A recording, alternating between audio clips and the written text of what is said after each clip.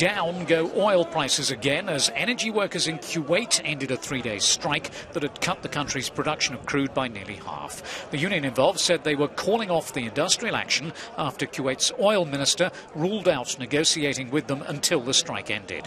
The walkout was over fears of cuts in pay and benefits and layoffs by the government.